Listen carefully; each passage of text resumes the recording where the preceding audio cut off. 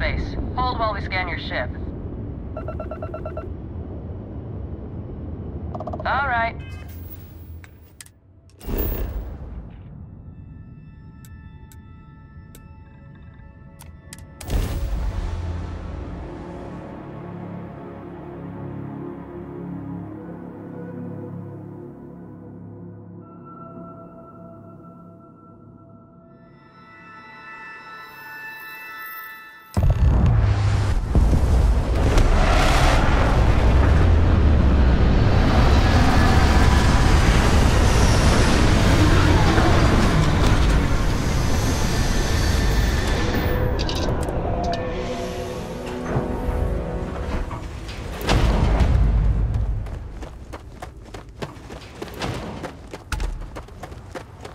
I don't want to hear any complaints. Excuse me, excuse me. A little desperate here. I remember meeting Ron Hope once. Idealistic and perhaps a bit of a dreamer. but you have to admire.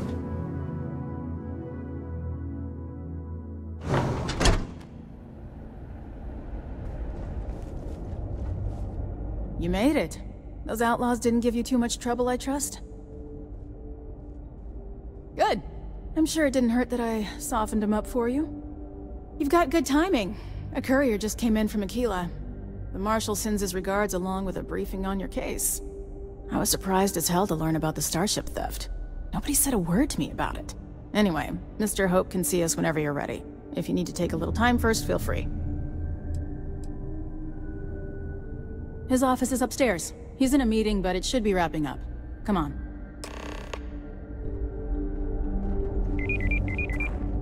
Ron Hope certainly embodies the saying, spared no expense. I'm guessing the Marshal already told you this, but I'll say it anyway.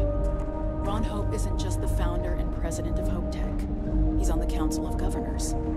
The Council oversees the Freestar Rangers, so don't rile him up. I've spent a long time trying to build a good relationship with Hope. he comes on a little strong, but there's a lot to admire about the man. Everything you see around you, he built. Pretty much everyone in this town owes him for their livelihood. Can't begin to imagine the kind of pressure that must put on someone. All I'm saying is, try to show a little respect.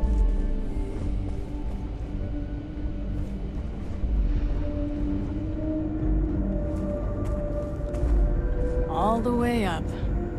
Is it just me, or does every executive in the settled systems have an office on the top floor?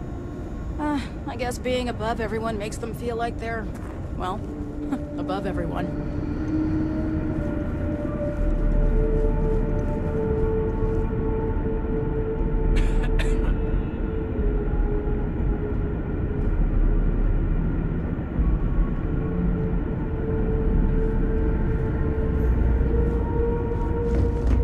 Payroll pretty high, but I think that's much As for parts, we could try outsourcing.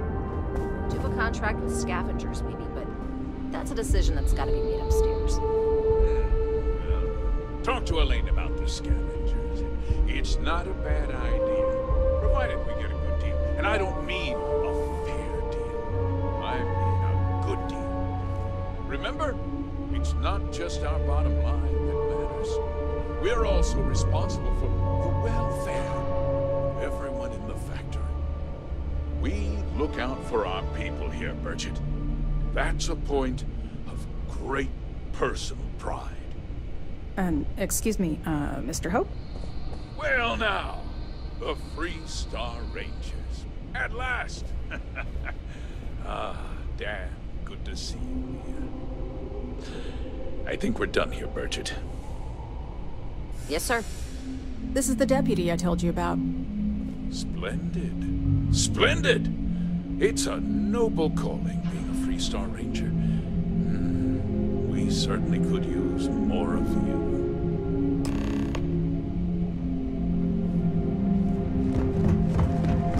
Let's get down to it, shall we? Time is